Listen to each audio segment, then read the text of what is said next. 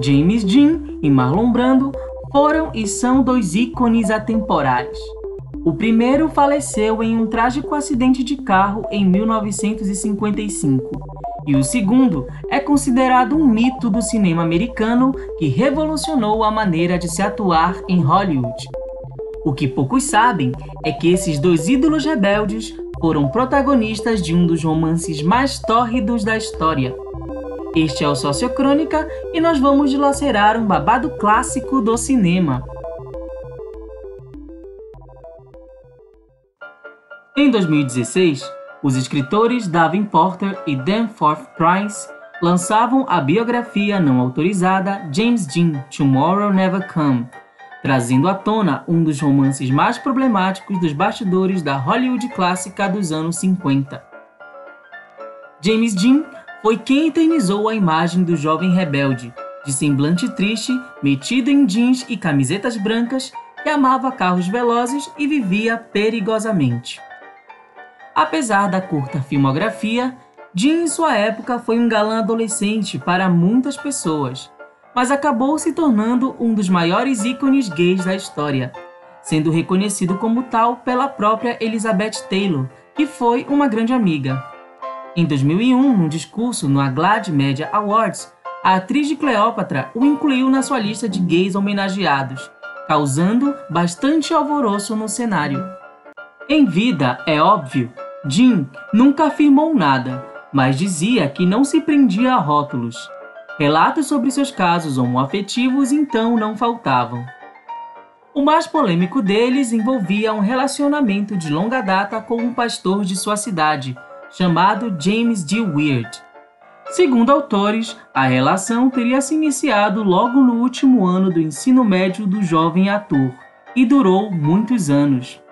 Jim gostava de recorrer ao reverendo em busca de conselhos, e sua paixão por carros se deu graças à influência dele. Em 2011, descobriu-se que Jim relatou a Elizabeth Taylor ter sofrido abuso sexual dois anos após a morte de sua mãe por um ministro. A questão então fica no ar. Speaking of racing, have you ever been in a drag race? Are you kidding me? I just thought I'd ask.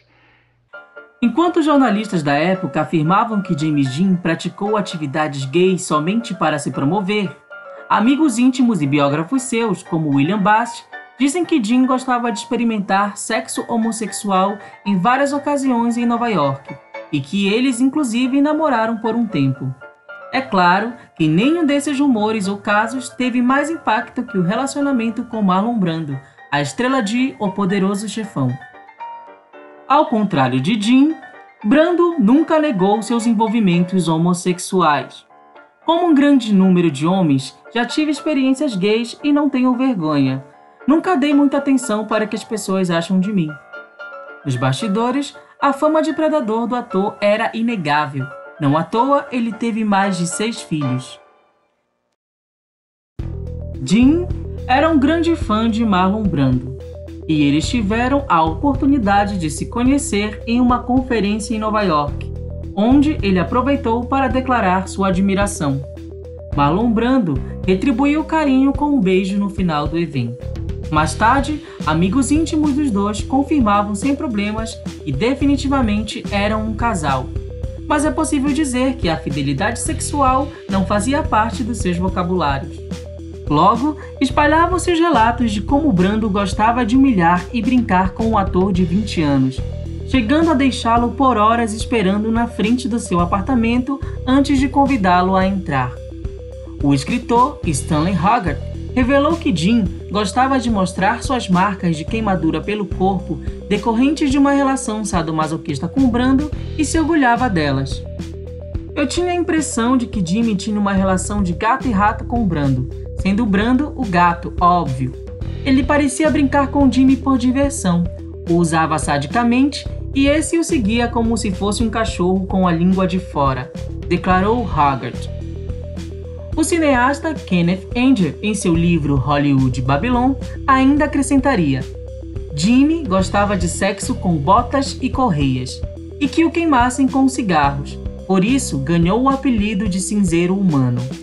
A frase desbancou numa canetada o maior ícone masculino dos anos 50. Até porque galãs e masculinidade não combinam com sadomasoquismo e homossexualidade.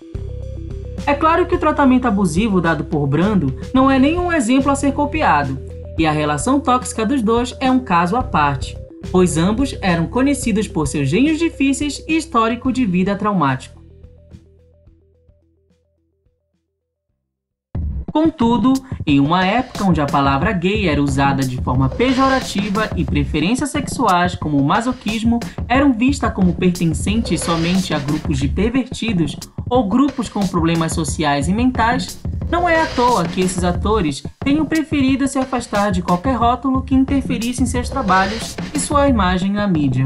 A própria imprensa vendia a ideia de que James Dean e outros atores gays como Rock Hudson e Tabby Hunt tinham compromissos profissionais em conflitos com suas vidas amorosas e inventavam romances com variadas personalidades para disfarçar. O que nos revela e de lá para cá nossa sociedade e nossa cultura têm um pouco evoluído nesse sentido, apesar de mais de 50 anos de diferença.